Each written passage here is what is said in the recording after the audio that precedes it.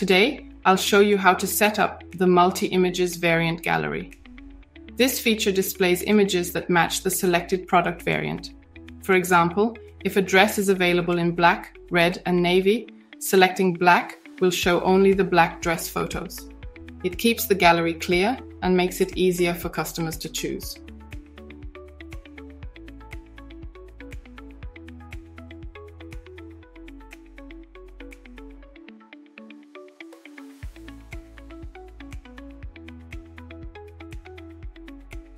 To enable image filtering by variant, each image must have an alt tag matching the variant's name. For example, if you have a red variant, set the alt tag of each corresponding image to hashtag red. This process is not case sensitive.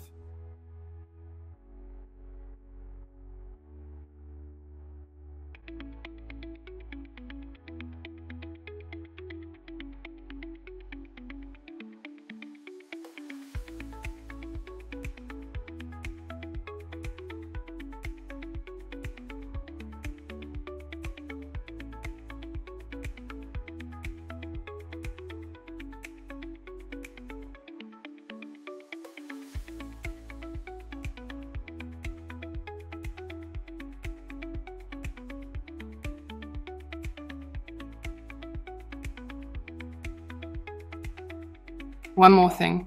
When at least one image is tagged for a specific variant, only those tagged images will be shown for that variant. Variants without any tagged images will display all available images.